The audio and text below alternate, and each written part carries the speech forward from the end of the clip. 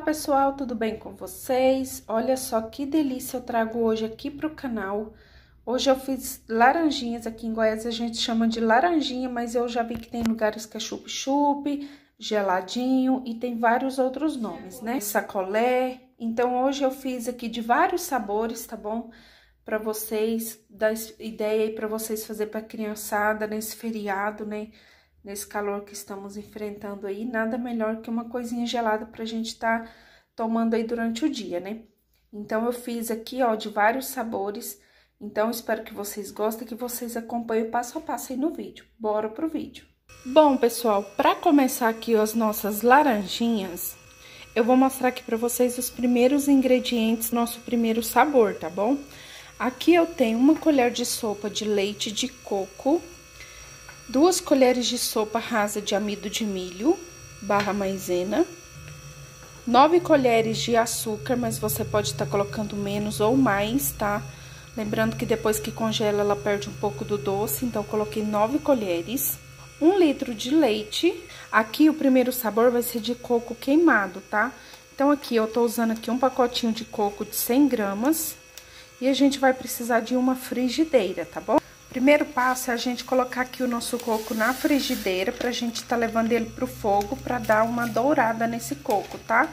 Pra ficar com gosto de coco queimado, tá bom? Coco na frigideira, trouxe aqui pro meu fogão. Vou ficar mexendo esse coco aqui, tá bom? Pra ele dourando e não queimar. Uns dois minutinhos mexendo, percebe-se que o nosso coco já está mudando de cor, tá vendo? Por isso que é bom você não parar de mexer para não correr o risco de queimar, olha só. Nosso coco já está queimado, tá vendo? Ficou uma cor maravilhosa. Coloca esse leite aqui na minha panela. Coloquei o leite aqui na panela, vou estar tá colocando o meu açúcar, o leite de coco, aqui o coco que a gente acabou de dourar. Olha só, tá um cheirinho tão bom, gente. Agora, a gente vai mexer esses ingredientes aqui. E vamos estar tá acrescentando aqui a nossa maisena, tá? O amido de milho. Eu vou levar pro fogo, tá? E vou deixar ele virar tipo um creme, tá bom? Olha só que lindo que ficou, gente. Tá um cheiro maravilhoso aqui. Então, bora levar pro fogo.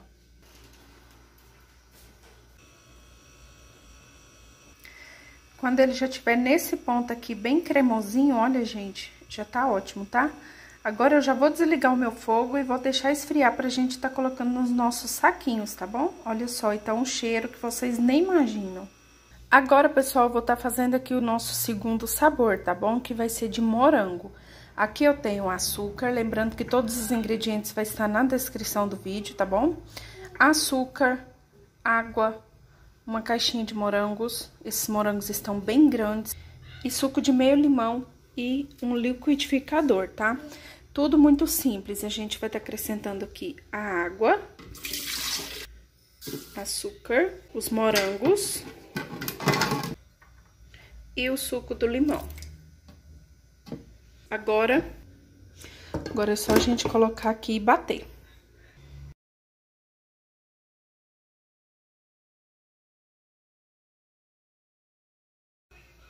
Prontinha a nossa misturinha aqui, já tá toda batida, olha só que linda que ela está. Olha só, pessoal, ela fica bem bonita, uma cor bem bonita. Se você quiser também, você pode estar fazendo com leite, tá? Faz do mesmo jeito e coloca leite, uma xícara de leite no lugar da água, tá? Ela vai ficar mais cremosa. O meu não bati tanto, porque eu quis uns pedacinhos de morango, tá? É, no meio, Aí, então, ele ficou com os pedacinhos do morango. Olha só pra vocês verem. Tá numa cor bem bonita. Aqui agora, gente, eu vou fazer o de melancia, tá? Aqui eu tenho melancia, açúcar, suco de meio limão e um quarto de xícara de água, tá? Mesmo processo, pessoal. Agora aqui eu, no meu liquidificador eu vou colocar água, o limão, açúcar e a melancia. E agora a gente vai levar pra bater. Bom, pessoal, eu comprei esses saquinhos aqui, ó, de laranjinha, de geladinho, tá? A medida deles é de 5 centímetros por 23, tá? Vem mil unidades desse saquinho aqui. Então, agora a gente já vai começar a encher, ó. Eles são desse aqui, tá vendo? Olha o tamanho dele, a largura. Vou pegar aqui, ó, o meu funil e vou colocar aqui dentro. Vou começar aqui com de morango. A gente vai pôr pra não ficar muito cheio, tá? Porque depois a gente tem que amarrar. Eu não vou encher muito, tá, gente? Porque a gente tem que fazer a amarração. Mas olha só como que tá ficando, tá vendo?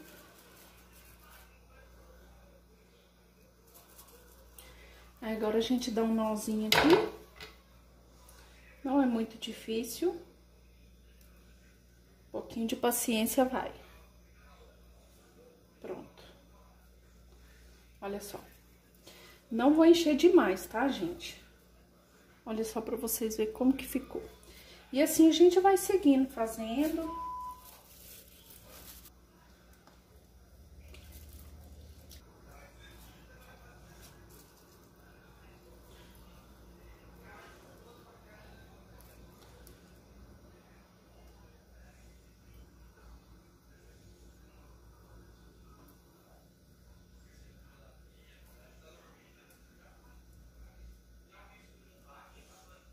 Olha só.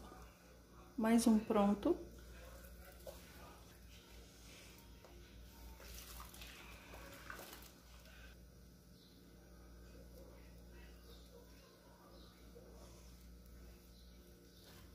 Agora eu vou fazer aqui de coco queimado. Olha que linda, gente. Olha, fica bem, bem cremosinha, tá vendo?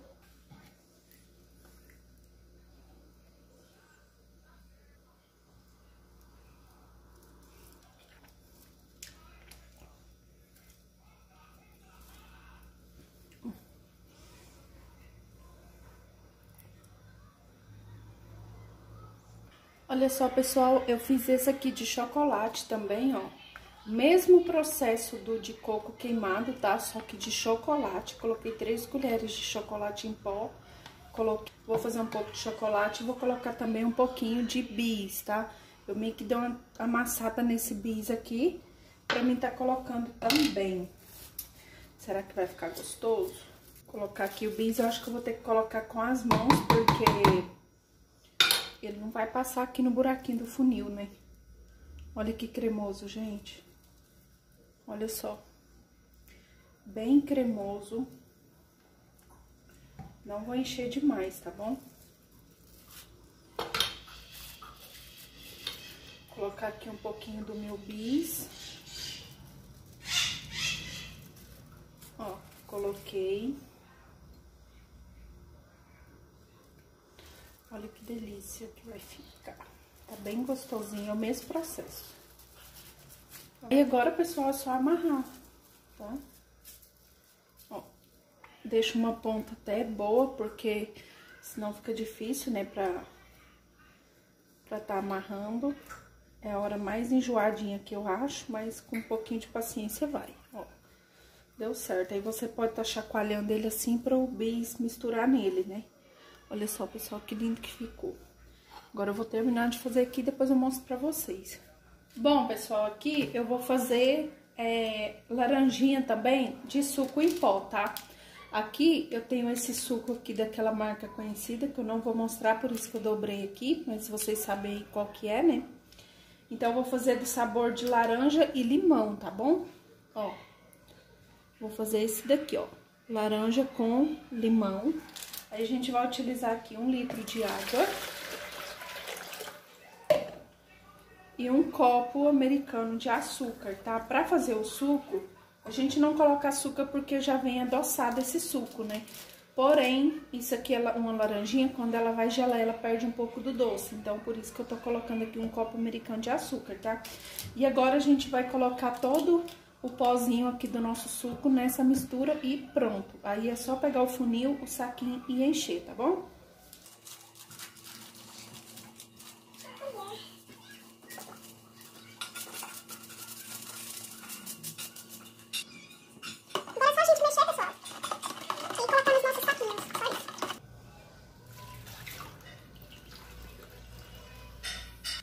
Bom, pessoal, aqui eu tô, vou estar tá fazendo umas de salada de fruta, tá? Aqui eu piquei manga, morango e kiwi, tá? Piquei menor e aqui eu tenho água de coco, tá bom?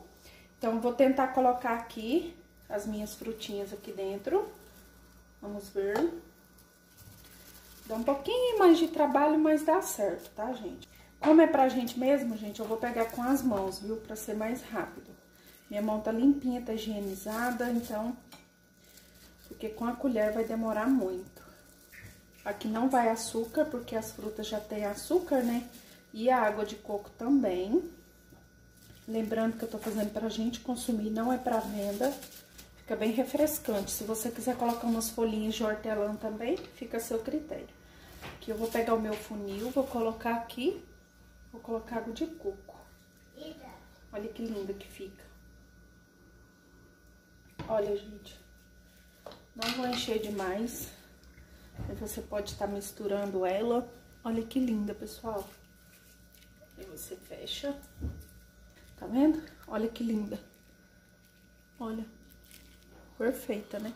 E assim, pessoal, eu vou fazendo todas elas, tá? Daqui a pouco eu volto. Olha só, pessoal, depois de alguns, algumas horinhas depois, finalizei aqui as nossas laranjinhas. Olha só que lindas que ficaram. Olha essas daqui de salada de fruta, né? Que é as de água de coco com frutas. Olha só que maravilhosas que ficaram, gente. Eu amei, ficaram lindas demais. Ficou bem colorida, né? Então, essas daqui as de salada de fruta. Essas daqui é de laranja com limão, tá? Essas daqui é de uva. Essas são as de chocolate. Deu. Essas daqui são as de coco queimado, tá? Que é uma das minhas preferidas. Olha como que elas ficaram lindas, gente. Olha isso aqui, ficou perfeita, né? Essas quatro aqui são as de morango, tá? E essas daqui são as de melancia, tá? Ao todo, rendeu 43 unidades. Olha só, rendeu bastante, eu achei. 43 unidades de laranjinha. Agora, eu vou levar para o meu congelador. E assim que tiver pronto, eu venho mostrar o resultado para vocês, tá bom? Bom, gente, depois de algumas horinhas aqui no freezer, os nossos geladinhos ficaram prontos. Olha só que delícia, gente. Aqui só tem um pouco, porque já chuparam um pouco, não conseguiram esperar para finalizar o vídeo, mas olha só. Aqui está um pouco. Olha que lindo, gente. Tá uma delícia. Os meninos já chupou alguns e falou que tá muito gostoso. Olha. Tá muito delícia, gente. Espero aí que vocês tenham gostado, que vocês façam aí nesse calorão, né? Não tem nada melhor do que a gente chupar uma laranjinha para se refrescar, né? Então, o vídeo foi esse. Eu espero muito que vocês tenham gostado, que vocês façam, tá bom? E que vocês se divirtam aí tá? Com essas delícias.